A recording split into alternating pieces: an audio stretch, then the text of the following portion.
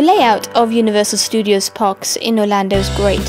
From the main entrance area and the security check, or from the different on-site hotels, you first enter the Universal City Walk. This is Universal Studios entertainment complex in Orlando, an area packed with restaurants, bars, cinemas and shops just outside their main theme parks. To enter City Walk, you first have to pass security at the entrance gate to the Universal area. This makes this a very safe area.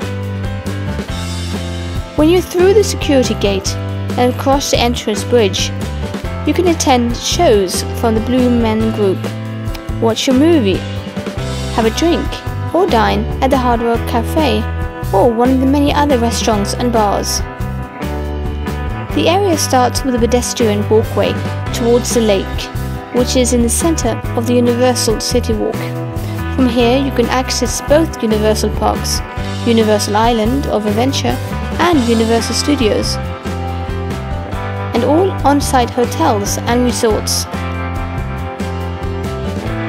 From the lake it's possible to take the water taxi to the different hotels.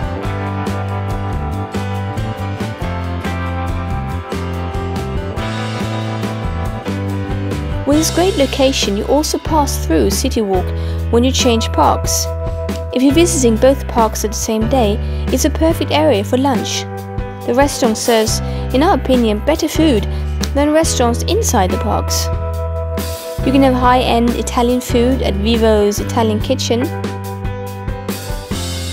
a wide selection of pizza from Red Oven Pizza Bakery, Mexican food from Antonio's, seafood from Bubba Gump's Shrimp Co., probably without Forrest Gump running around. The massive Hard Rock Cafe spans over two floors and is in fact the largest in the world. The main feature in the restaurant is the atrium, with a huge circular bar and a pink Cadillac in the center. In addition to the restaurants, the building has a concert venue for over 3,000 people. When you enter City Walk from Universal Studios' main gate, you face the huge NBC Sports Grill and Brew, a restaurant for the sports fans and fanatics. Here you can enjoy different sports from more than 100 screens, including the two giant screens on the building itself. The latest addition is the Toothsome Chocolate Emporium and Savory Feast Kitchen, which looks like a huge cartoon chocolate factory, and located next to Hard Rock Cafe and the Islands of Adventure entrance.